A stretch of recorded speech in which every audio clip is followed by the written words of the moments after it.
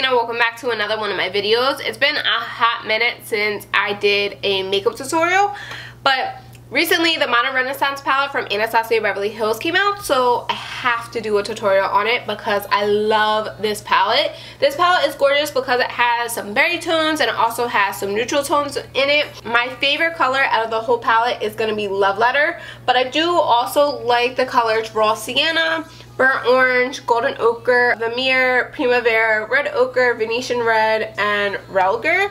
I mean, I like pretty much almost all the shades in the palette and that's why I had to buy it. I have to like at least more than half of the eyeshadows in a palette to buy it. That's what I told myself when it comes to buying palettes. I will not buy anymore until unless I like at least half of the eyeshadows in the palette. So I love this palette. That's why I got it. Also, I've noticed, I don't know if Anastasia has changed the formula of her eyeshadows, but I just feel like these are so much creamier than usual. I have at least four or five Anastasia Beverly Hills palettes, and this is probably, I don't know, I just noticed that they're much more creamier. Um, they blended very easily. I don't know, maybe it's just been a minute since I've uh, actually played with my Anastasia shadows, but I don't know, I really like it. This tutorial is based on the color Love Letter. It's a beautiful, beautiful berry tone and I paired it with a berry lip. Also, in this video, I'm actually giving away three Kylie lip kits. If you follow me on Snapchat, then you know that I've been trying to give away these uh, lip glosses for a while now. I just didn't know how I was going to do it. But since this video is a tutorial, I'm just going to announce it in this video. So yeah, the announcement is I'm giving away three lip glosses. These are like literally and so cute. And these are the newer versions, so don't worry, they're not the messed up versions. I'm to leave all the giveaway details below in the description bar, but you do have to be subscribed to my channel, follow me on Instagram, and follow me on Twitter. So yeah, if you're interested in this video, then make sure you keep watching, and also don't forget to subscribe.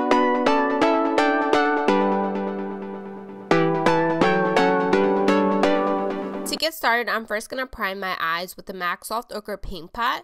And I love the fact that I don't have nails anymore because now I can apply it with my finger and it applies so much better. And then I'm going to set it with one of the eyeshadows from the Modern Renaissance palette. It's a shade called Tempera, which is the first shade all the way to the left. And I'm just using a BH Cosmetics brush to set that on my eyes. Next, taking the Morphe M461 brush, I'm going to take the color Burnt Orange and apply that as my transition shade. This brush is great just because I'm pretty heavy handed so it allows me to not apply too much shadow and it really just diffuses the color like this is like my favorite brush for a transition shade right now next taking the color love letter and this crown c441 brush I'm just applying that right to my crease and I like this brush just because it blows out the color but this is a beautiful berry color. I'm next going to go in with a different brush. This is also from Crown and I like this brush because it's a little bit more precise and it's going to make the color a little bit more vibrant but I'm putting that directly in my crease and it's going to also give me a little bit more of a sharper line. Next, taking a Bdellium Tool 780 brush, which is like a pencil brush, I'm going to apply my inner corner highlight. I'm using the color Vermeer. I'm going to apply that to my inner corner as well as my brow bone. Then I'm going to take the color Primavera and a flat brush and that will be my lid color. It's a very pretty light gold color. Now taking another pencil brush, this is the Zoeva 230 brush and the color Love Letter, I'm going to apply that to my outer corner. This is just making the color Love Letter a lot more vibrant, but then I'm going to go on top of it with Cyprus Umber and just make it a little bit darker. It's gonna, I didn't want to make it too smoky. I wanted a real dark purple color, so I kind of had to mix shades to get the color that I wanted. For my lower lash line, again, I'm just going to use the color Love Letter and then I'm going to go back with the color Vermeer and put that on like the inner third of my eye. And then for eyeliner, I'm using this eyeliner, and excuse me because I don't really know the name of it. It's Dosey. It's hard to tell with the font, um, but I got it in an Ipsy bag a few months ago. It's a great black eyeliner. And then I'm just going to take that brown shade Cyprus Umber and use this Bdellium Tools brush to get really close to my lash line to kind of blend the two together just so that way the black isn't too harsh against the um, berry color. For eyeliner, I'm using the Kat Von D eyeliner in the color Trooper. This is a really great eyeliner for beginners. I say that all the time, but it really helps you get like the perfect wing eyeliner. I have hooded eyes, so for hooded eyes, I would definitely recommend doing a very thin liner because you don't want to take away from the little bit of lid space that you have.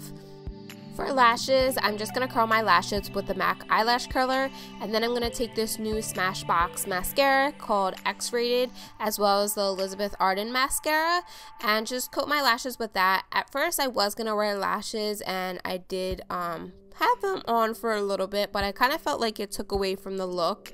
It, they were just a little bit too much for this look. I feel like it really took away. And plus, I had to take them off because the inner corners kept popping up. I think it's my eyelash glue. I have, I've been using the Revlon eyelash glue and I'm not liking it. For lipstick, I really wanted to go with something that matched the eyes perfectly. I wanted a very pretty berry tone, so I went with this Elizabeth Arden lipstick in the color Raspberry.